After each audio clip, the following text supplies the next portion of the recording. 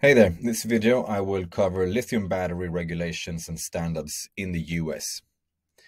Alright, begin by looking into UL standards, CPSC recommendations, CPSIA, the HMR, and finally lab testing. Alright, so the first slide here um, is dedicated to UL standards and UL stands for Underwriter Laboratories. They have been around for more than a more than a century now. What they are mainly known for in in this era is is their standards that apply to electronics. Now, keep in mind that UL standards are, for the most part at least, voluntary in in the United States. But Nonetheless, they have developed a range of standards that apply to different types of lithium batteries and, and different aspects of lithium batteries. Most well known is UL 1642 standards for lithium batteries. And if I remember correctly, this is also the standard that is referenced in the Amazon Seller Central, meaning that if you sell lithium batteries or lithium battery powered devices on Amazon, then they have made UL 1642 mandatory. So, in short, retailers, marketplaces can determine that a voluntary standard is required, is mandatory. And these are just a few examples. They may even be outdated, but you can find up to date standards on the UL website, and you can also find additional standards. Let's move on then. So second, we have CPSC recommendations, and CPSC uh, stands for the Consumer Product Safety Commission. What is interesting here is that they have not published mandatory standards or regulations that directly impact lithium batteries. Instead, they have they there's a page on the CPSC website dedicated to recommendations. That's actually the term they use for lithium batteries. And the recommendations you can see on the right. Components and battery powered products are, should comply with applicable voluntary standards. That's a recommendation. I'm not listing the standards here, but I can tell you that UL 1642 is one of them. One of the standards that, that they are listing on the website. So what does that mean? It can be confusing. A standard is, is voluntary. They even, even make it clear here that this concerns voluntary standards. Nonetheless, the CPSC is actively recommending that brands, that importers and manufacturers comply with these so-called voluntary standards. Well, I don't know why they have not adopted um, mandatory standards specific to lithium, lithium batteries or other electronic products for that matter. This I do not know. But what I do know is that in practice, if you're selling a lithium battery or a device that contains a lithium battery and something happens like the hoverboards in 2015 if if uh, if you rem remember that you know um, if, if that happens meaning that batteries explode for example then it doesn't matter if there are no mandatory standards. This product can still be subject to a recall on the basis that it's unsafe so what the CPSC states here that end of the day, it's in your interest as a brand, as an import, as a manufacturer, as an Amazon seller, as any company selling in the United States to ensure compliance with standards that cover lithium batteries. And ultimately, it doesn't really matter if these are voluntary or not. It's quite irrelevant, actually, because end of the day, you're facing the risk of a recall if something goes wrong. Okay. The second part, the second recommendation is new components and products that are not yet subject to voluntary standards should be designed considering the best practices from similar voluntary standards. And my understanding is that there are, uh, well, not just an understanding, I know that there are um, standards that apply directly to lithium batteries in existence, as I just showed in a previous slide. That being said, maybe other aspects here uh, concerning the the embedding and, and battery uh, power devices containing lithium batteries might be something they they are referring to here, but I can't be more specific than that.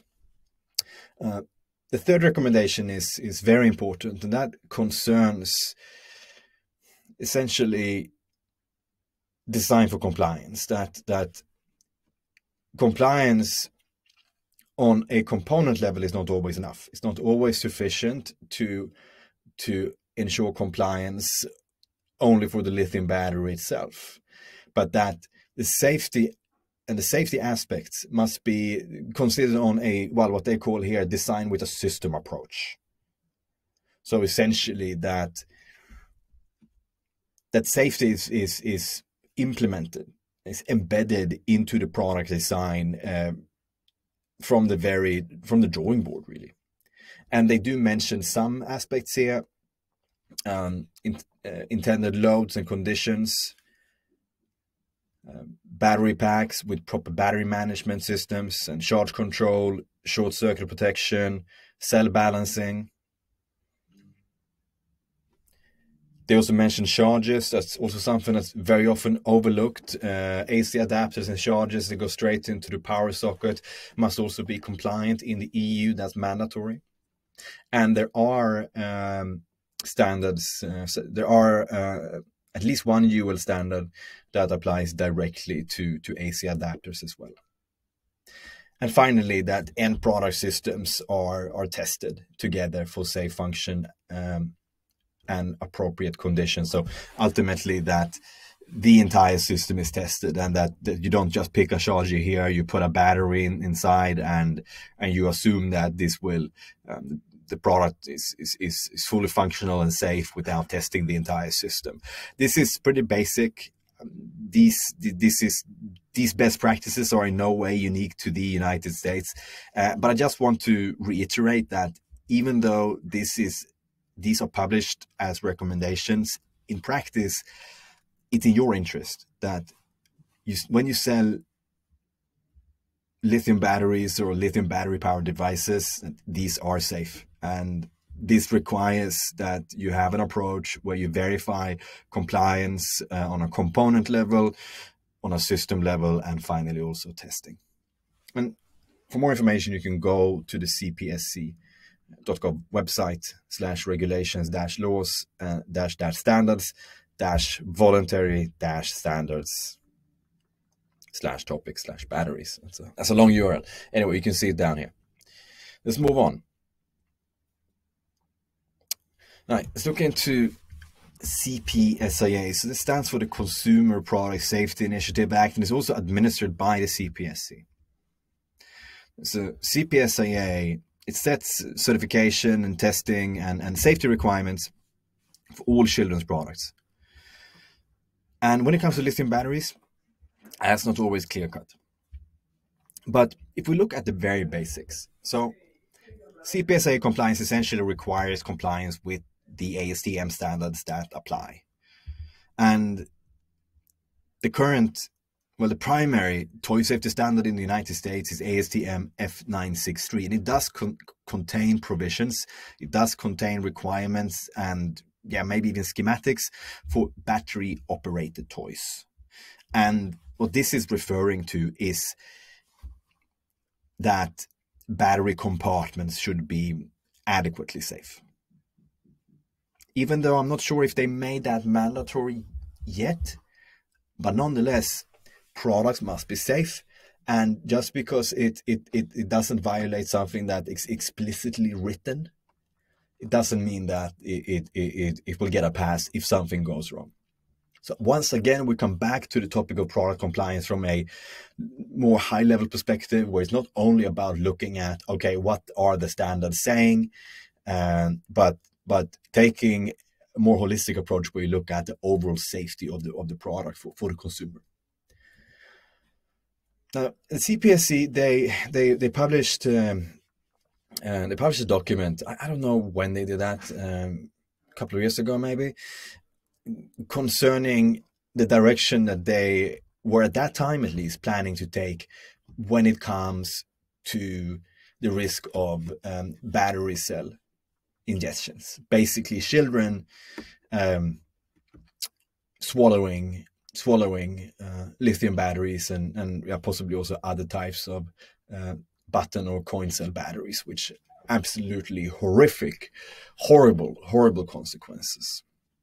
But why this is related then to lithium batteries is really, really two parts here. And, and one is that we're looking, well, they are looking at requiring, well, setting standards, mandatory standards likely, that improve the battery compartment design and essentially require a screw or two independent, independent simultaneous motions to access the battery.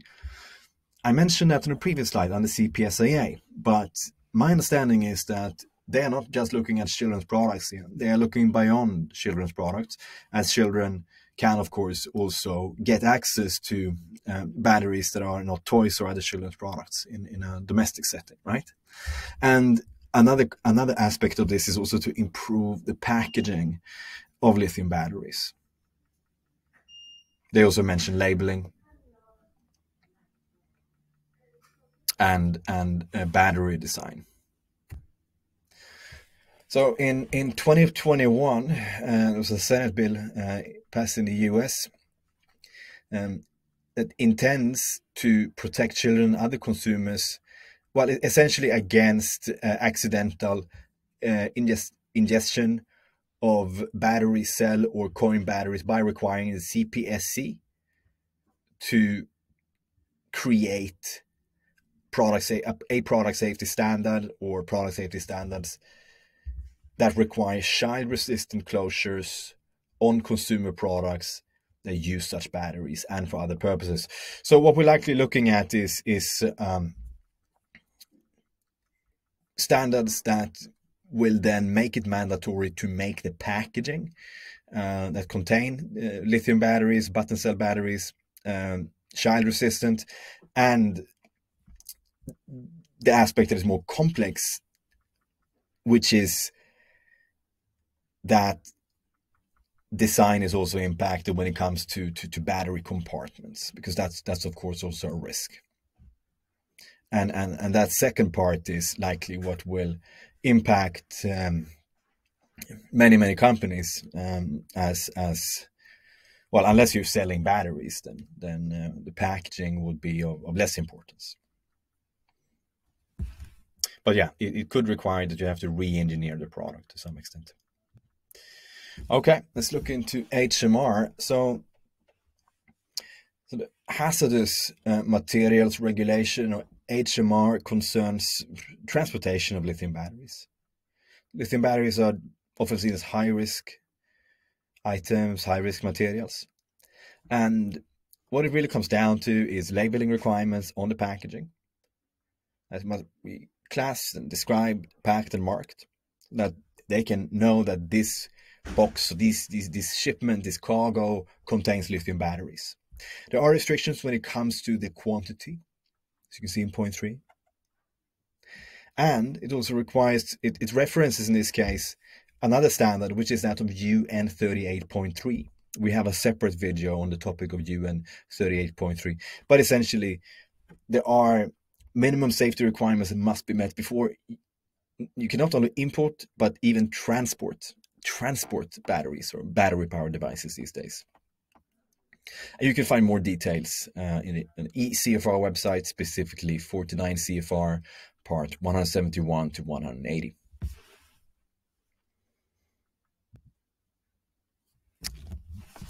Right, so before we end this video, I also want to clarify that generally speaking, you do need, well, you often need uh, lab testing to verify compliance with the safety standards various companies that do provide third-party testing when it comes to batteries. Another option is that you only or exclusively procure batteries from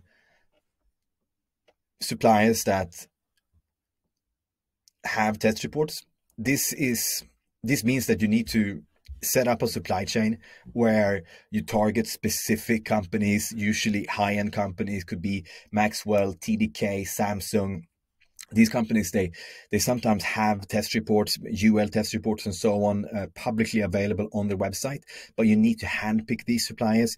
It can't be um, a secondary consideration that you let your say your your manufacturer in Shenzhen uh, pick a battery supplier and assume that they will by default have test reports. That's very often not the case.